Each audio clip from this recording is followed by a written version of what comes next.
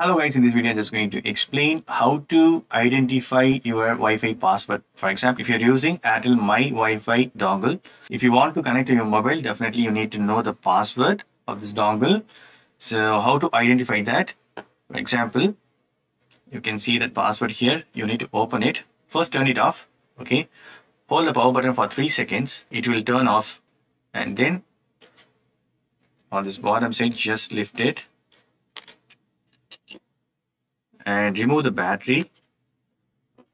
So here you can see that password, Wi-Fi password. This is the default password, which is provided by Airtel My Wi-Fi.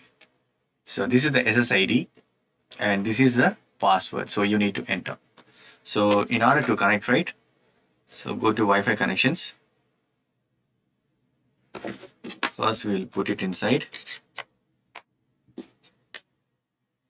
Okay hold the power button for 3 seconds. So it should be automatically turned on. So the signal rate, it should be turned to green. Completely it should be green, which means it is ready to use. Yeah, now it's turned to green. So here it should be coming here. So network is found. So I'm going to tap it. So enter the password. Just take a screenshot, okay? And then you can enter it.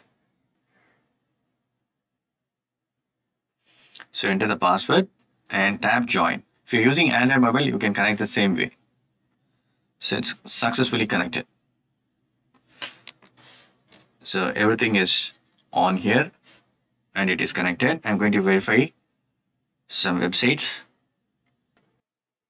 Super cool. So I'm able to access Wi-Fi connections using this Airtel My Wi-Fi. So this is the way you can identify the password in your Airtel My Wi-Fi. So that's it friends. Hope this video is very much helpful. Thank you so much. Bye. Take care.